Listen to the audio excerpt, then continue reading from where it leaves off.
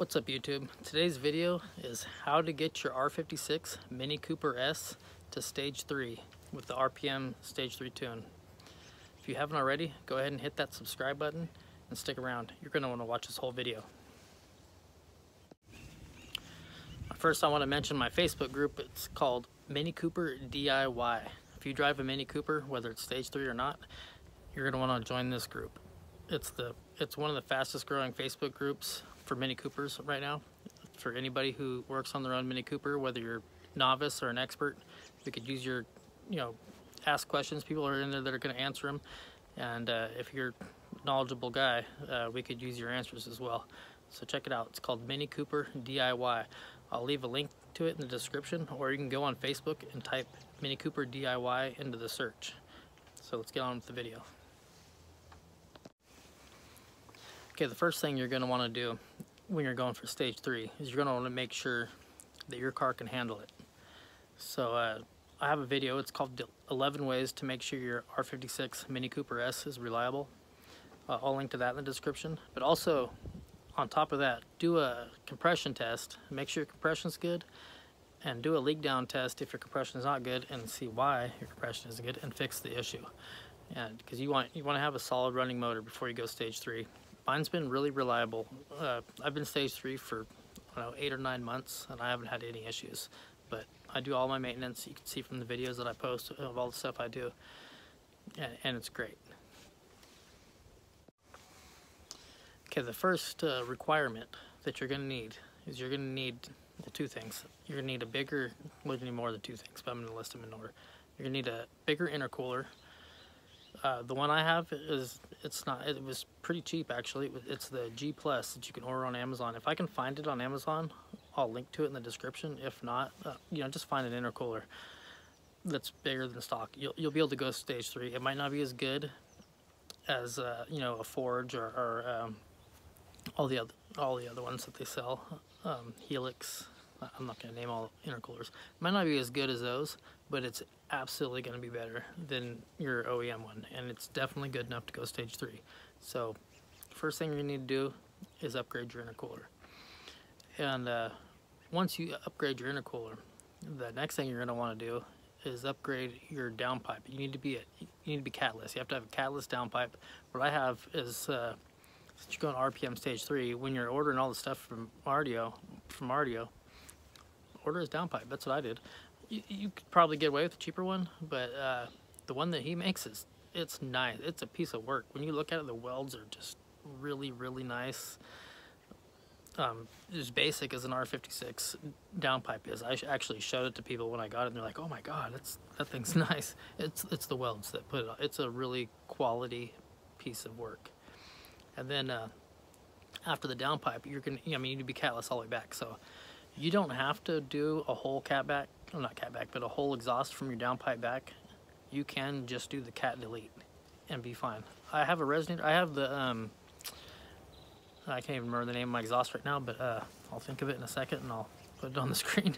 but uh, hold on a second.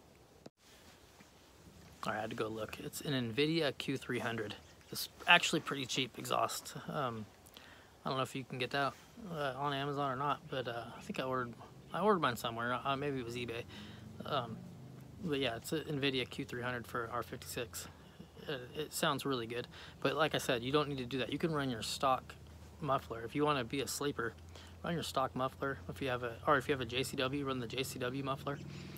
And uh, I still have mine. This is a resonated exhaust, so it's not that loud people have actually commented on how quiet my car is for how much work is done to it. And it's, you know, it's relatively fast for what it is. For being a front wheel drive Mini Cooper, you know, 1.6 liter, it's pretty fast. So yeah, you'll need a, you'll need to do your intercooler, exhaust, uh, your, your, you know, get rid of both of your cats. And then uh, obviously you need a, a bigger turbo. Um, I have a JCW turbo on mine. Um, you that's I think that's the smallest turbo that you can have in a B stage 3 uh, Mario actually makes one. It's a 43 millimeter 4356 uh, 43 I think is the the cold side and 53 might be the impeller. I'm not sure exactly how it works but it's a, it's a fast spooling. A lot of autocross guys use it. It's quite a bit bigger than the turbo I have. I think it's good for 30 more horsepower, uh, is what I think uh, uh Mario said, than the JCW turbo. And he quotes you at about 250 to the wheel. So you're gonna have about, I mean, it's not gonna be exact. You might have 240, 250 to the wheels with a, with a JCW turbo and a stage three. But with his turbo, I think you'll have 280 or 285 or something like that. So, or you can go bigger. You can go bigger. You can get, you know, closer to 300 horsepower if you if you really want to push it. But I wanted a quick spooling turbo, so I went the JCW. And then the last requirement that you you absolutely need is uh, you're going to need one step colder spark plugs. Mario sells those too, uh, or whoever you're going through. I don't know if you're going through Mario Palza. You might be going through, you know, somebody else from RPM, but uh, Mario Palza is who I went through. But uh, whoever your tuner is, ask your tuner to supply you with spark plugs, and you'll know you'll have the right spark plugs for the turbo and the tune that you're running. And that's the way. That's the best way to do it. I'm not. Uh, you know, I would like to just leave. Oh, I'll leave you a link in the description. But what if I link you? What if you do a different turbo? What if you need two-step colder for your setup? I don't know. So uh, yeah, get your spark plugs, or at least ask your tuner which spark plugs you need and order those. But yeah, you definitely need one step colder or maybe sometimes maybe even two step colder spark plugs. Okay, and the last thing that you need for, you know, mandatory requirement you need to be stage three is obviously your tune. Go through Mario or go, go through anybody, but uh, I went through Mario. You can do a remote tune. That's what I did. I have a video on how to do a remote tune. Um, you need to buy the thing, the stuff to do it with. Ask Mario about that. Um, in fact, if you look at the thumbnail for this video, the box is in the video, or in that thumbnail that I used. But yeah, you need a, a tune from RPM if you're going to do the RPM Stage 3. Can't really recommend anybody else because RPM is who I use, and I can't recommend anyone other than Mario because Mario is who I use. I don't have experience with other people. I do know that a lot of people have had experience with Lorenzo. Like, I don't know his last name. I've only heard people call him Lorenzo. He's out of Canada. Uh, so you know, I can't recommend him because I don't know him. I've never talked to him, but I would say that enough people have used him that he's probably good. So yeah, you definitely need that. You need the RPM Stage 3 tune. Okay, as you can see, this video is not over yet, but uh, probably I don't know how much left is, is left because I haven't filmed it yet. But um, that was just the stuff that you absolutely have to have to be Stage 3. It's not, that's the requirements. You have to have that. This other stuff I'm about to list is just stuff that is that I recommend personally um, to be stage three. And the first thing I'm going to say is going to be upgrade your diverter valve. Um, it's not a power gain on the top end, but it, it mine I, I, have the the Go Fast Bits DV Plus. I have a video on how to install that. Um, there's the Forge blow off valve, uh, Turbosmart blow off valve. There's a bunch of ways you can go, um, but upgrade it. Uh, it's it's a it's a good enough difference that even if you're not going stage three, I would say to upgrade it. it it's a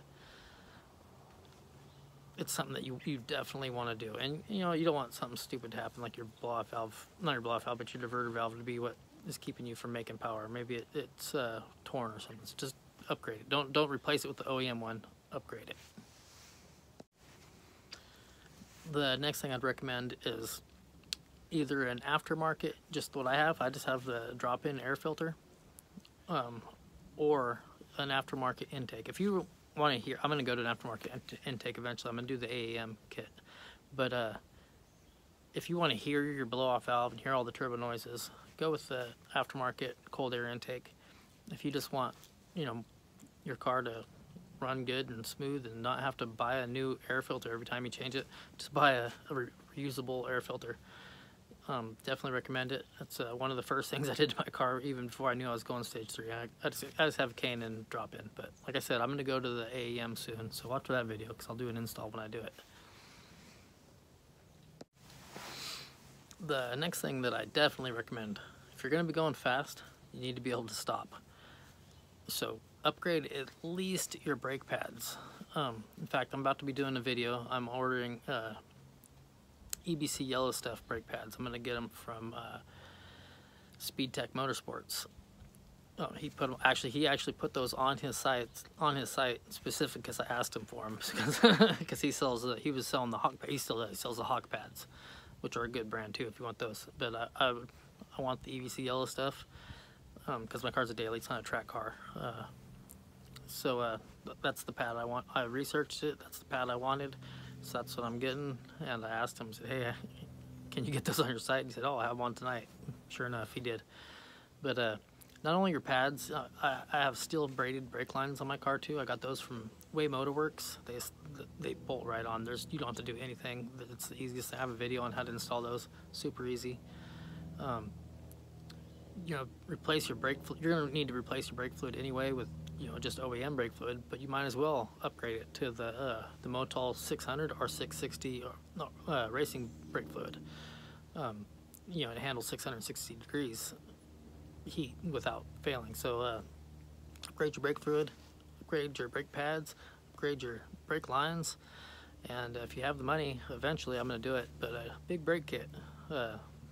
That's not a requirement obviously. You could you could do it with with regular S pads and regular S brakes because that's what I have now. I did it when I had regular uh, brake lines too but uh, steel braided much nicer.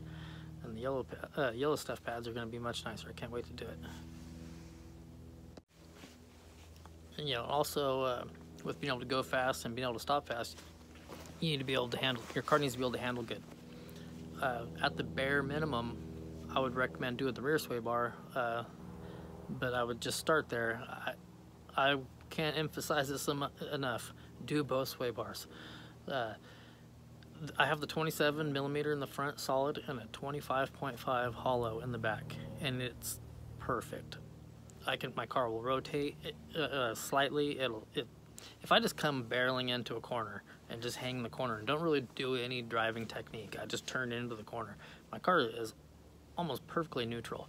If I give it, if I downshift or, or give it a little bit of brake while I'm in the corner, the back end will rotate a little bit. But um, and I'm on all, all season tires. In fact, you can watch my last video I just posted uh, where I do a review on these Continental um, Extreme Content, Extreme Content. I say that in the video too. Extreme Contact Tact DWS06 tires that I, all season tires that I have. Um, they're great tires, but uh, that's not what this video is about.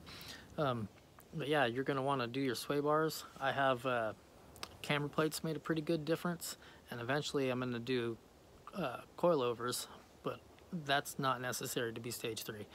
With just the sway bars, uh, it's that's uh, it's easily for a drivable daily driver. That's enough. But if you want to be more, obviously, do more. And one another thing I wanted to recommend too, if you're going to go stage three, you get you know the the horsepower that Mario will tell you. Okay, it's I think it's 250. Well, it's 250 with the JCW turbo, and I think it's up to like 285 or something with the other turbos. Or you can do the stage three with a methanol kit. Well, methanol, I believe, if you tune for the meth, you can do methanol two ways. You can just install the kit and be okay. I have cooler intake temperatures. Cool, and don't have to tune for it. You'll have cool, you'll have the power from having cooler intake temperatures, and you'll have you'll have higher octane, but you're not tuned for it, so it's not that big of a issue, not big of a gain. Or you can tune for it. I believe I'm not sure. I'm not going to say the price, how much it is, because he might change his prices. He might make it might be cheaper or might be more, but uh, you can tune for it, and I believe you'll have to ask him, but I believe it's 40 more horsepower if you're running methanol injection. So you know, 40 horsepower, you know, that'd put me around two 280, 290 with the JCW turbo. I don't know if a JCW turbo can handle that much horsepower, but uh, you know, I could max out this J, JCW turbo with stock cams and stuff like that. I mean, it, my car is already decently fast. If I do the methanol, it'll be pretty crazy, but uh, and I'm gonna do it. Speedtech Motorsports again, actually. Not only do they sell a methanol kit, I'll, I'm linking to Speedtech in the description. I link to them in a lot of my description because I'm actually friends with the guy. Uh, well, I talk to him on Instagram and Facebook because he lives in New York and I live in California. But uh, because I believe he lives in New York. But uh, yeah, not only does he sell the snow, I think it's Snow Performance I'm not sure the brand that he sells, but it's it's called Stage Two is is what it is. Um, but also, he he actually developed. I don't know if he did it himself, but he had it developed a direct injection kit for methanol. So you buy your regular methanol kit that you're gonna buy, and then on top of that, you have direct injection. And I and you'll have to ask him. Uh, he's a cool guy. If you message him on Speed Tech Motorsports, you message him on Instagram or Facebook, he'll, he'll talk to you. Um, or you probably even go to his website and email him and ask him about this direct injection kit, and he'll tell you. Because I mean, obviously, he wants to sell to you. He's gonna tell you how it works. But uh, I believe the way he has his set up on his car, 'cause he has a he also has an R56 with the N14 in it, uh, stage three, same Mario Palza tuned it, got all this stuff that I just mentioned, and more. His car is awesome, but uh, I believe it's four psi. He starts spraying into the you know the one injector into the the intake tube, and then uh, I want to say 11, maybe it's 17. I think it might be 17 psi it does sprays the the direct injection into the right. It's a it's a plate between the intake manifold and the head, and uh, so it's not spraying directly all the time. It's only when you're at high boost, and I'm not sure 100% sure, but I think you can set where where you spray it at, and uh, that's the that's just the way to go. Uh, it's gonna be way safer it's going to keep your intake valves clean. You're not going to have to run a catch can. Um, it's just going to, there's no bad sides to it. Also, this is, a, I'm not sure if this would be considered stage three or not, but SpeedTech Motorsports, I talked to him on Instagram about this the other day and uh, I told him I'd mention this. He has a kit that he's developing right now. It's a, it's a header not a header, it's a manifold, exhaust manifold for a turbo, but it's a 500 horsepower kit. And uh, I don't know who Ollie has going through it. If you go to his Facebook page, it's Speed Tech, Speed Tech Motorsports Inc. on Facebook. Go to his Facebook page. You can see pictures. He posts stuff on there. And on his Instagram, he's Speed Tech Motorsports on Instagram. Go check him out. Um, he, he posts pictures on it. It's it's crazy looking, and you know, 500 horsepower in this car would just be insane obviously you're going to want to build your bottom end for that. Um, he sells everything for that too. But yeah, I said I'd mention that, so, so I'm mentioning it. I also, I should mention, not only does he sell the header, it's not just the header. He also sells the big turbo for it. It's a, it's a much bigger turbo that can handle the 500 horsepower, and it comes with a downpipe. It's, it's the whole thing. It's a, it's going to be a bolt-on kit that you're definitely going to need a tune for. like I said earlier, if you drive any Mini Cooper you drive, join my Facebook group. It's Mini Cooper DIY. Don't forget, there's a link in the description. Um, or like I said earlier too, you can go to Facebook and just type it in the, the search bar. Uh, Mini Cooper DIY. It's an amazing group. And if you haven't already, go ahead and hit that subscri uh, subscribe button. And if you like this video, give it a thumbs up. If you didn't like this video, give it a thumbs down. And if you have anything else to add, add it in the comments below. I'd really like to hear what you have to add, um, especially when it comes to performance mods. I'm sure everybody watching this video would want to want to hear what you have to add too, because that's why everybody's here. They're here for performance. So let's hear it. So uh, I'll catch you in the next video.